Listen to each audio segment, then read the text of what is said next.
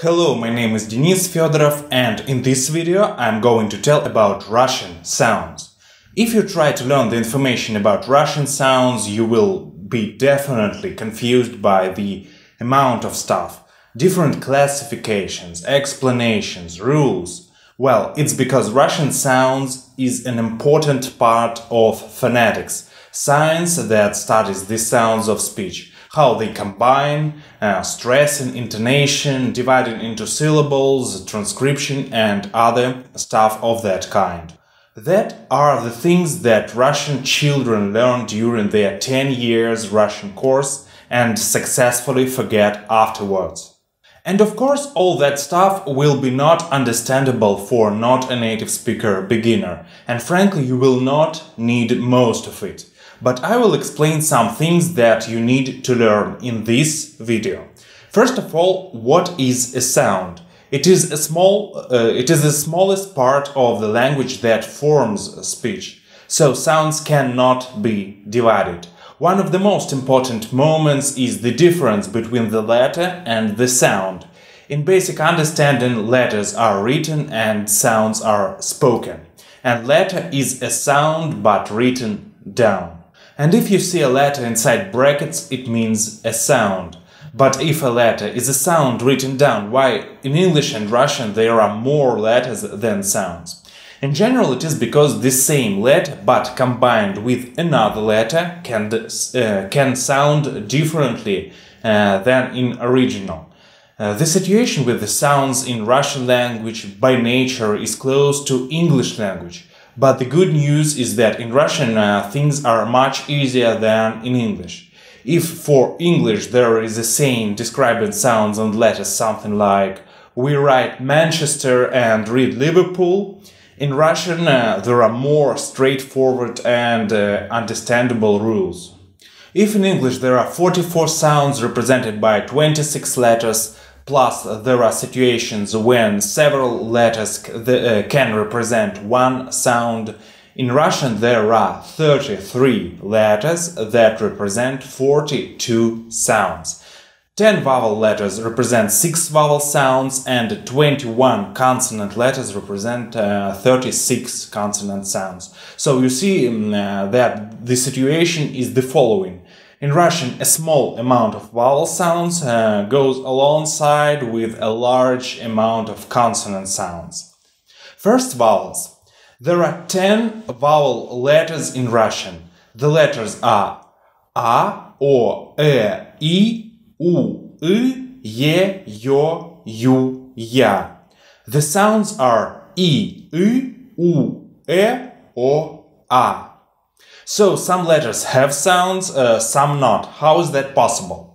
The thing is that ya, ye, yo, you are letters that are not directly represented by own sounds. And you will not find these letters in brackets in transcription. It's because these letters are represented by combinations of two sounds. Ya is ya, you is u, Yo is yo, ye is ye.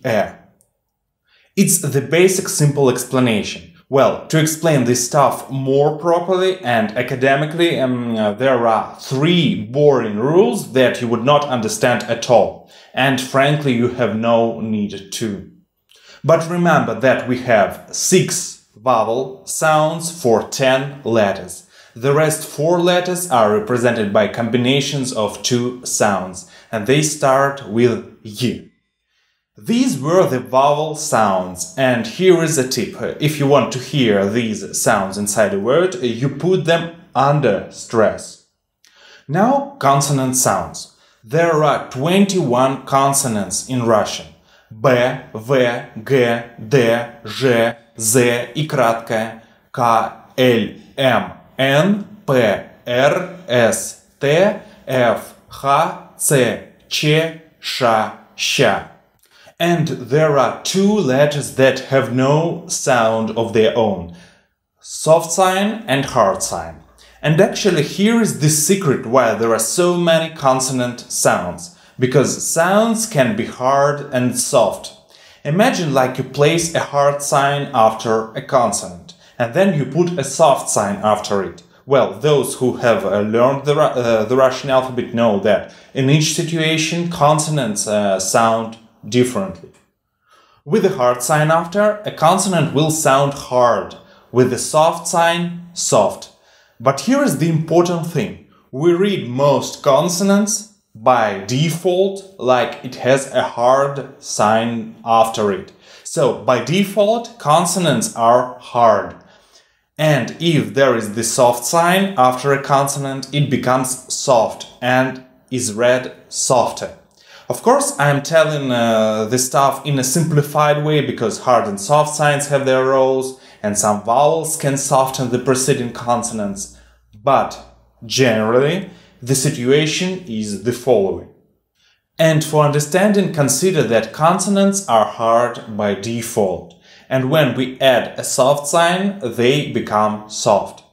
But the most attentive watchers would ask me, if it is so, why we take uh, 21 consonants and multiple by 2 because of hard and soft signs? We get 42. Why are there only 36 sounds? It's because three letters can uh, be only soft and three letters only hard.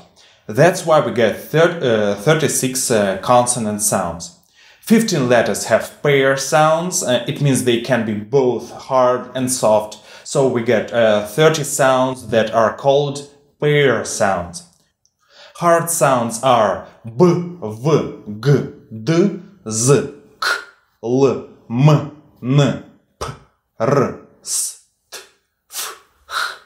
Soft sounds are b, v, g, d, z, ki, l, mi, ni, p, r, Six sounds have no pairs. They can be either soft or hard by default and cannot be changed. Hard are r, sh, ts. Soft are ch, sh, y. Actually, that's all the information you need to know about sounds of Russian letters. I've tried uh, to explain it in simple words. Uh, if on some reason you need to know more, well, welcome to the wonderful and beautiful world of Russian phonetics. For others uh, who just learn Russian uh, to use it, uh, this information will be enough. Uh, thank you and bye.